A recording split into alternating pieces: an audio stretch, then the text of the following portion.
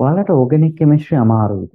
නැත්නම් ප්‍රතික්‍රියා ලාවට පුළුවන් හැබැයි පරිවර්තන බැරිද? නැත්නම් සමායකතාව බැරිද? අන්න ඒ වගේ කට්ටියට මෙන්න මේ මම කියන්න යන ටික වැදගත් වෙයි. ප්‍රධාන වශයෙන්ම මේ වීඩියෝ එකේ කතා කරන්නේ අපි ඕගනික් කෙමිස්ට්‍රි අපි 2022 රිවිෂන් පන්තියට සමගාමීව පටන් ගන්නවා. එතකොට 2022 දරුවන්ට විතරක් නෙවෙයි 23 දරුවන්ටත් ඇවිල්ලා ඕගනික් කෙමිස්ට්‍රි කලින් කවර් කරගන්න ඕන නම් මේකට සහභාගී වෙන්න පුළුවන්. එතකොට ඕගනික් කෙමිස්ට්‍රි ගැන විස්තර ඊට පස්සේ ඕගනික් කෙමිස්ට්‍රි ගැන මොකක්ද ඒ ගැන විස්තර මම පන්තියේදී සාකච්ඡා කරන්නම්. මම ප්‍රධාන වශයෙන් අපි පන්තිය ගැන ඉන්ට්‍රොඩක්ෂන් එක තමයි මේකෙදි කතා කරන්නේ. එදාට පළවෙනි දවසේ අපි ඕගනික් කෙමිස්ට්‍රි කියන්නේ මොකක්ද?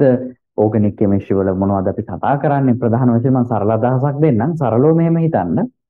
ඕගනික් කෙමිස්ට්‍රි වලදී කතා කරන්නේ ප්‍රධාන වශයෙන් කාබන් හයිඩ්‍රජන් අඩංගු ඊට අමතරව නයිට්‍රජන් ඔක්සිජන් සල්ෆර් ෆොස්ෆරස් වගේ කට්ටිය සම්බන්ධ වෙච්ච සංයෝග ගැන ප්‍රධාන වශයෙන් කාබන් හයිඩ්‍රජන් අඩංගු. සාමාන්‍ය අපි ගත්තොත් අපි අවට පරිසරයේ ගොඩාක් කාබනික සංයෝග තියෙනවා. කියන්නේ අපි ශරීරයේ ගත්තොත් ශරීරයේ විශාල සංයෝග ප්‍රමාණයක් කාබනික සංයෝග වෙනවා. උදාහරණයකට ගත්තොත් මේ මගේ නියපොතු හැදලා තියෙන කෙරටින් කියන ප්‍රෝටෝනින්. අපි හැම ප්‍රෝටීනින් හැමෝගෙම. එතකොට මේ කෙරටින් කියන ප්‍රෝටීන් එක ඕගනික් සංයෝගයක්. නැත්නම් කාබනික සංයෝගයක්.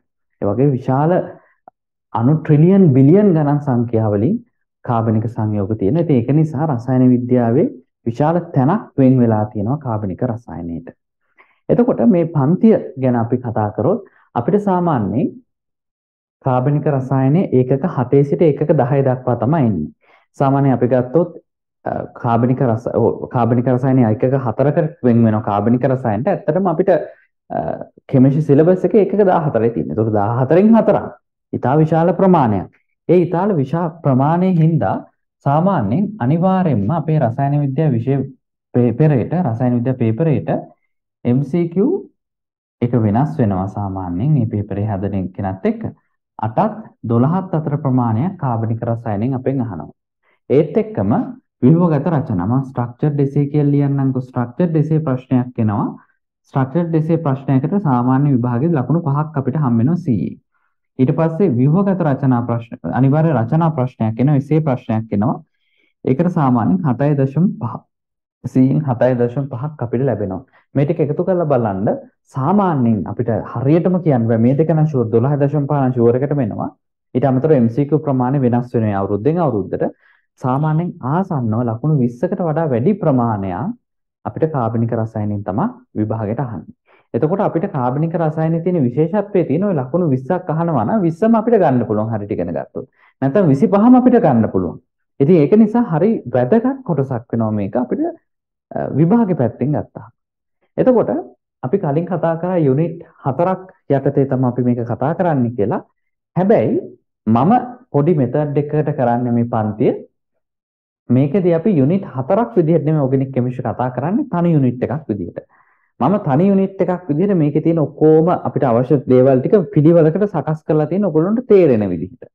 හරි? ගොඩක් වෙලාවට කෙමිස්ට්‍රි වල කාබනික රසායනේ බැරි වෙන්නේ අර උගන්වන ක්‍රමේ ටිකක් අර සාම්ප්‍රදායික ක්‍රමේ ටිකක් බෝරින්.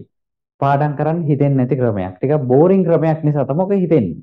ඉතින් ඒකට පිළියමක් විදිහට මම මේක ආයසරයක් මේ තියෙන විෂය නිර්දේශයේ තියෙන කරුණු ටික ටිකක් ළමයාට දැනෙන විදිහට ඇඟට දැනෙන විදිහට උගන්වන්න අවශ්‍ය නිසා පොඩි වෙනස්කම් කීපයක් කරා. මම ප්‍රධාන වශයෙන් යුනිට් 1 සිට 7 දක්වා පළවෙනිට මූලික කරුණු ටික හයිඩ්‍රෝකාබන ඊට පස්සේ ඔක්සිජන් අඩංගු සංයෝග නයිට්‍රජන් අඩංගු සංයෝග විදිහට උගන්වනවා වෙනුවට මම ටිකක් වෙනස් මෙතඩ් එකකට තමයි මේක උගන්වන්නේ. පළවෙනිටම අපි ඉගෙන ගන්නවා කාබනික සංයෝග හඳුනා ගැනීම. ප්‍රධාන වශයෙන් මේ කාබනික සංයෝග වල බන්ධන සැකැස්ම ඊට පස්සේ සම්බන්ධ වෙලා තියෙන පරමාණු වලින් කාබනික සංයෝග වර්ග ගොඩක් තියෙනවා. ඇල්කේන ගත්තොත් තනි බන්ධන විතරක් තියෙන කාබන් හයිඩ්‍රජන් අඩංගු සංයෝග. ඇල්කීන ගත්තොත් ද්විත්ව බන්ධන තියෙනවා. ඇල්කයින ගත්තොත් ත්‍රිත්ව බන්ධන තියෙනවා. OH කාණ්ඩයක් තියෙනවනම් ඒ කාබනික සංයෝගේ මධ්‍යසාරයක් කියනවා. COOH කාණ්ඩයක් තියෙනවනම් කාබොක්සිලික් අම්ලයක්. NH2 කාණ්ඩයක් තියෙනවනම් ඇමීනයක්. මෙන්න මේ වගේ දේවල් ගැන අපි පළවෙනි සෙක්ෂන් එක යටතේ කතා කරනවා. ඊට පස්සේ කාබනික සංයෝග නාමකරණය කියන කොටස අපි ප්‍රධාන පාඨකාවක් වෙනවා. ඒ කියන්නේ කාබනික සංයෝග කිව්වොත් ඊටා විශාල සංයෝග. කාබනික සංයෝග වගේ නෙවෙයි. ඒවල බන්ධන සැකස්ම වෙනස් ශාඛා බෙදලා තියෙනවා බන්ධන විශාල ප්‍රමාණයක් විහිදිලා තියෙනවා. ඒතකොට සමහර සංයෝග තියෙනවා කාබන් 100ක් විතර තියෙනවා. නැත්නම් කාබන් 20ක් විතර. 10ක් විතර. ඒතකොට ඒ වගේ සංයෝගවල නාමකරණය කියන එක තරමක් සංකීර්ණ කාරණාවක්. ඒක ගැන අපි කතා කරනවා. විභාගයට අනිවාර්ය MCQ ප්‍රශ්නකුත් අහනවා UPC නාමකරණය. ඊට පස්සේ සමායවිකතාවය කියලා කොටසක් තියෙනවා. ඒතර සමායවිකතාවයේදීත් විශේෂ කරුණු ටිකක් කතා කරනවා. ගොඩක් දරුවෝ සමායවිකතාවේ හරි අමාරු කොටසක් විදිහට දකිනවා. හැබැයි ඒක හරි ලේසි කොටසක්. ඒක අපි දවසෙන් වගේ කවර් කරලා දෙන්නේ. හරි ලේසි කොටසක්. ඒක ඒ තේරුම් ගන්න විදිහ සහ තේරුම් කරන විදිහ මත තමයි ඔක ඩිපෙන්ඩින්. ඊට පස්සේ අපිට එන ප්‍රධානම සෙක්ෂන් එක තමයි කාබනික රසායන ප්‍රතික්‍රියා යාන්ත්‍රණ හා පරිවර්තන. මේක තමයි හරිම වැදගත්. ඕගනික් කෙමිස්ට්‍රි වල තියෙන ප්‍රධානම කොටසක් තමයි කාබනික රසායන විභාගයට අහන කොටසක් තමයි පරිවර්තන කියන එක. නැත්නම් රසායනික සංශ්ලේෂණ කියන එක. එතකොට මෙන්න මේ රසායනික සංශ්ලේෂණ කරන ආකාරය ගැන සහ කාබනික රසායනයේ තියෙන පරිවර්ත ප්‍රතික්‍රියා ගැන. එතකොට සාමාන්‍යයෙන් අකාබනික රසායනය කතා කරන ප්‍රතික්‍රියා වගේ නෙවෙයි මේක. ඒ කියන්නේ පොඩි ගණිතමය සමීකරණයක් වගේ. මේක දැම්මාම මේක හැදෙනවා. ඒක හැමතැනටම ඇප්ලයි කරන විදිහ ගැන අපි ඉගෙන ගන්න ඕනේ. ඒත් එක්ක මේ ප්‍රතික්‍රියාවක් යම්කිසි ප්‍රතික්‍රියාවක් වෙන්නේ ප්‍රතික්‍රියකක දෙකක බන්ධන සැකැස්ම වෙනස් වෙලානේ. ඒතකොට මේ බන්ධන සැකැස්ම වෙනස් වෙලා නව සංයෝගයක් හැදෙන ක්‍රියාවලියට අපි කියනවා ප්‍රතික්‍රියාවේ යාන්ත්‍රණය කියලා. ඒතකොට ප්‍රතික්‍රියාවේ යාන්ත්‍රණය කියන එක ගොඩක් ළමයිට හිසරදයක්. මොකද හේතුව ඒක පාඩම් කරලා ලියන්න ඕනේ අර මේ කියලා හිතනවා. හැබැයි ප්‍රතික්‍රියාවේ එක යාන්ත්‍රණය යම්කිසි ප්‍රමාණයකට පාඩම් කරන්න ඕනේ ඒක ඇත්ත. නමුත් ප්‍රතික්‍රියාවක යාන්ත්‍රණය අපිට පුළුවන් වෙන්න ඕනේ දැන් අපි කාබනික රසායන ඉගෙන ගත්තට පස්සේ විභාගෙට ගොඩක් වෙලාවට මෙහෙම අහනවා. අපි කවදාවත් දැකලා නැති ප්‍රතික්‍රියාවක යාන්ත්‍රණය අහනවා. එතකොට අපි අර ඉගෙන ගත්ත දැනුමින් ප්‍රතික්‍රියා අර අපි අලුතෙන් දෙන විභාගෙදී අලුතෙන් දෙන ප්‍රතික්‍රියාවට යාන්ත්‍රණය අපි හදන්න ඕනේ. එතකොට මේ යාන්ත්‍රණ පිළිබඳ අපි කටපාඩම් කරන්න නෙවෙයි ඕනේ. යාන්ත්‍රණ පිළිබඳ අවබෝධය ලබා ගන්න ඕනේ. කටපාඩම් කරා කියලාවත් කටපාඩම් කෙරෙව්වා කියලාවත් අපිට අවබෝධය ලැබෙන්නේ නැහැ. එතකොට යාන්ත්‍රණ පිළිබඳ අවබෝධය ලබා දීලා ඒ ටික පිළිවෙලට කරගෙන යද්දී සාමාන්‍ය මෙතන අපිට ප්‍රතික්‍රියා 40කට ආසන්න ප්‍රමාණයක් තියෙනවා. හැබැයි ඒවා අකාබනික රසායන වගේ මතක තියාගන්න අමාරු නේ. අකාබනික රසායන ප්‍රතික්‍රියා මතක තියාගන්න ඇත්තටම අමාරුයි. බොරු කියන්න ඕනේ එතකොට මේක එහෙම නෑ මේක ලේසි. මේක අපි සාමාන්‍යයෙන් අපි ටාගට් එකක් තියාගමු ටියුට් එක ඊට පස්සේ ක්ලාස් එකේදී කරන වැඩත් එක්ක කාබනික රසායනික ප්‍රතික්‍රියා අඩුම තරමේ අඩුම තරමේ 500ක්වත් කරමු කියලා. ටාගට් එකක් තියාගමු. එතකොට මේ පරිවර්තන 500ක් කරාම ප්‍රතික්‍රියා 40 මතක තියාගන්න එක සිම්පල් දෙයක් වෙනවා.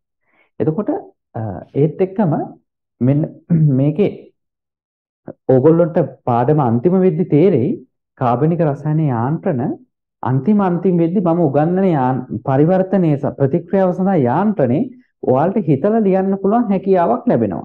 ඒ කරන විදිහත් එක්ක ඒක තමයි ඒක තීරණය වෙන්නේ. ඉතින් අපි මේ විදිහට පිළිවෙලකට මේක කරමු. හරි? ඒ විදිහට අපි මේක පිළිවෙලකට කරමු යාන්ත්‍රණය ඔයාලට හිතලා ලියන්න පුළුවන් වෙන තරමට හැදෙනවා කියලා හිතන්නකො එක පට්ට දෙයක් නේ. එහෙම හැදෙනවා කියලා කියන්නේ මම නම් කියන්නේ ඕගනික් කෙමිස්ට්‍රි වල ඔයාලා මාර්ගඵලය ලබලා තියෙනවා.